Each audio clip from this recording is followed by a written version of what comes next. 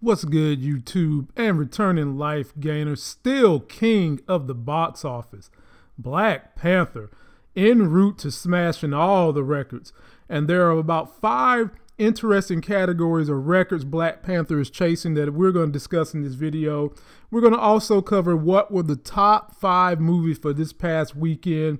Kind of let you know if some of my predictions came true about Stream It or Beam It and if you're just now finding me for the first time, go ahead, subscribe to the channel, click that notification bell so that you can be down every time we drop a life gains video because we cover so many things on this channel finance, fitness, entertainment, streaming.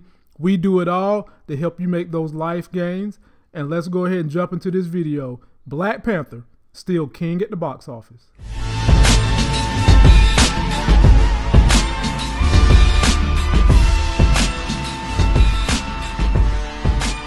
Knowing all loving all feeling all seeing all powerful just damn all everything that's sexy as hell host of this life Gains channel.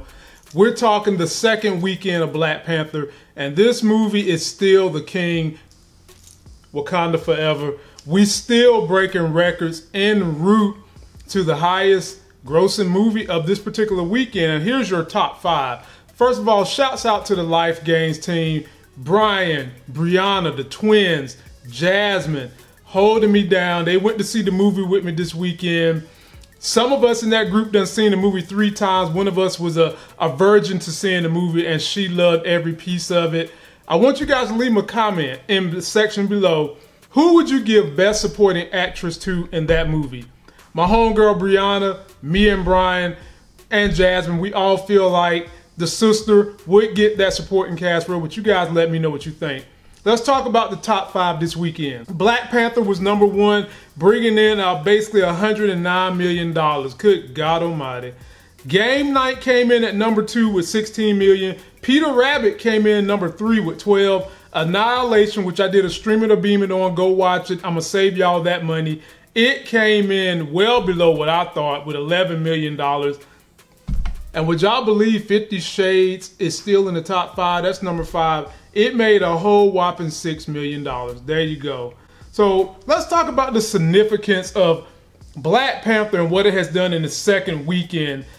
In the history of these movies, the amount of money that has been made, Black Panther has came on the top of the list and being the second highest grossing weekend movie, only behind The Force Awakens, Star Wars, Jurassic Jurassic World is number three. The Avengers is number four for second weekend with 103 million.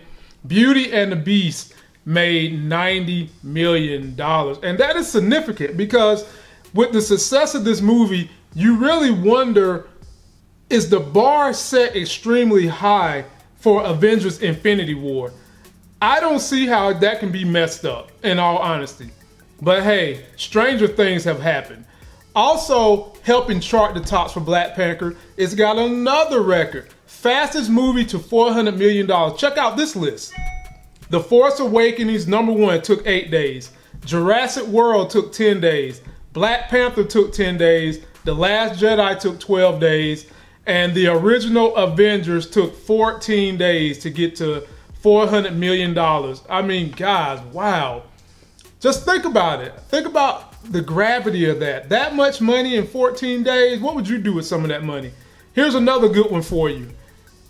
Second week domestically, Black Panther made $400 million. On a foreign scale, it made $304 million. And it hadn't even opened up in Japan or China yet. It don't open up there until March. So this movie still got some legs left with it. How does this movie rank up in comparison to the other MCU movies?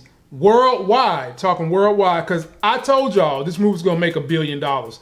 Some of y'all said it ain't gonna make a billion dollars. This movie is gonna get a. It's already at 704 million in only basically 10 days. So you know it's gonna get to a billion. It's just how far. Take a look at this.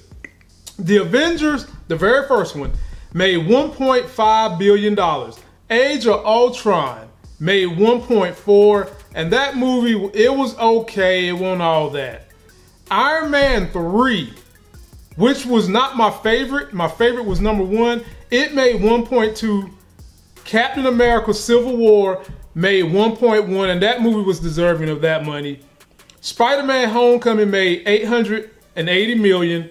Guardians of the Galaxy Volume 2 made 863 million. Thor Ragnarok made 853. Guardians of the Galaxy, the original one, made 773. Winter Soldier, one of my top five favorites, made 714 million. And Black Panther in only 10 days has already made $704 million. Just giving you guys the box office update with a little stats to dig in there with it so that you can be informed as we try to help y'all save money on your movie choices and let you know what is worth seeing in the theater. This movie is worth multiple times being seen.